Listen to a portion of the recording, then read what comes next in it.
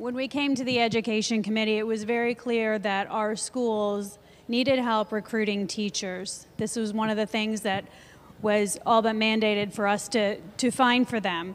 So uh, I did at the time propose a bill, and um, I'm really happy to see that it is, it is in here. And just to clarify, uh, and a couple questions to make sure that I, I am clear about how this is going to go through. Um, Representative Currey, please prepare yourself, sir. Please proceed, madam. Thank you so much.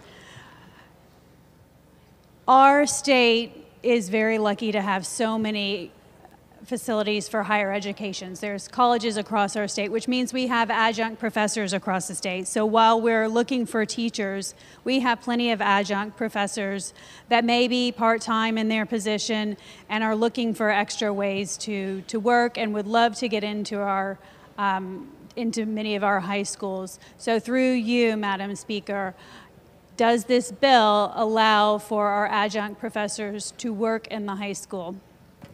Representative Currey. Uh, yes, uh, this will allow uh, an adjunct professor permit to be issued through you. Representative Marra. Thank you so much.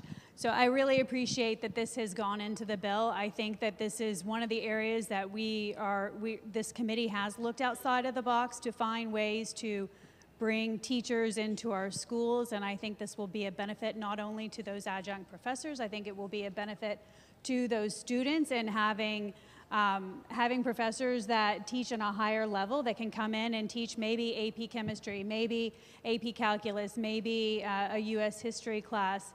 It will benefit those students. And uh, I really appreciate you adding this to the bill. And then just one last um, comment. I, I know the other issue that we heard across the board, and many of my colleagues have mentioned this, is the implementation of this reading program. And we had over a dozen superintendents come and speak on this issue.